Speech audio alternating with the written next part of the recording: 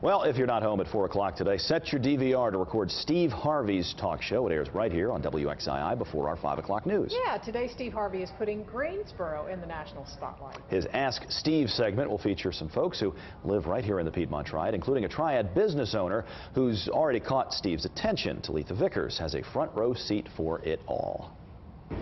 Guy Bradley is the owner of the Big Burger Spot in Greensboro, and while he enjoys serving up the triad with delicious food, he's about to take his business to a whole new level with the Steve Harvey Signature Burger. Do you know what Steve Harvey likes between the buns?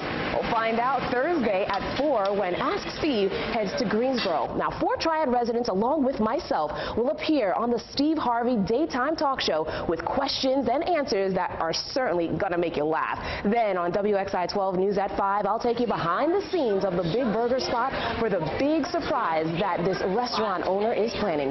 Watch Steve Harvey at 4, followed by WXII 12 News at 5.